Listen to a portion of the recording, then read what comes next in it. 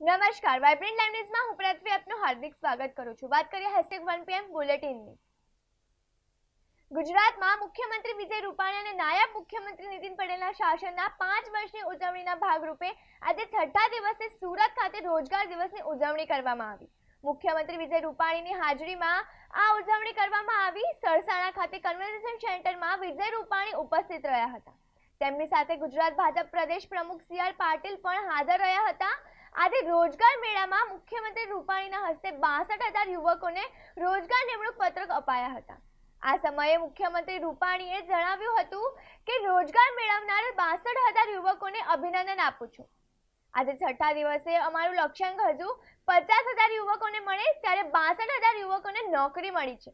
તેથી ઉત્તમ શું છે? ધોરણ બાર પછી એન્જિનિયરિંગ અને ફાર્મસીમાં પ્રવેશ માટે આજે રાજ્યભરમાં ગુજકેટની પરીક્ષા લેવાશે. એક લાખ અઢાર હજારથી વધુ વિદ્યાર્થીઓ પરીક્ષા આપશે.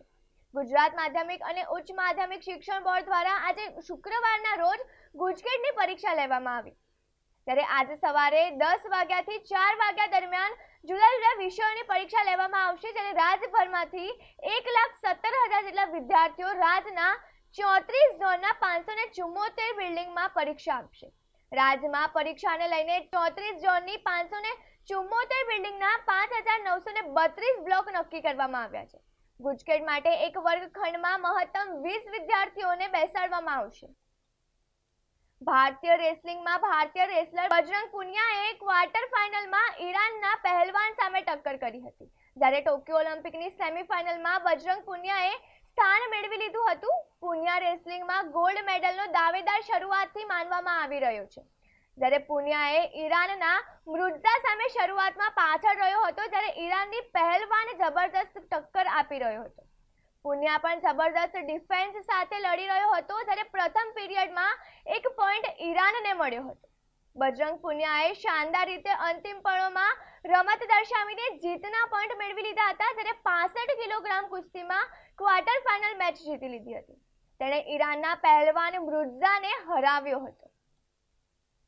રાજ્યમાં કોરોના અપડેટ વિશે વાત કરીએ તો ગઈકાલ સાંજ સુધીમાં કુલ ચોવીસ કેસ નોંધાયા છે, જ્યારે અત્યાર સુધીમાં કુલ આઠ લાખ ચૌદ હજાર છસો ને છન્નું લોકોએ કોરોનાને માત આપી છે. અને આ સાથે રાજ્યનો કોરોના રિકવરી રેટ વધીને અઠ્ઠાણું પોઈન્ટ પંચોતેર ટકા થયો છે. તેની સાથે ખુશીના સમાચાર એ છે કે આજે પણ કોરોનાને લીધે રાજ્યમાં એક પણ મૃત્યુ થયેલ નથી. જો કે હાલ બસો લોકો સ્ટેબલ છે બુલેટિનમાં બસ અત્યારે આટલું વધુ જાણકારી માટે જોતા રહો વાઇબ્રન્ટ લાઈવ ન્યૂઝ નિર્ભય સત્ય જનતાનો અવાજ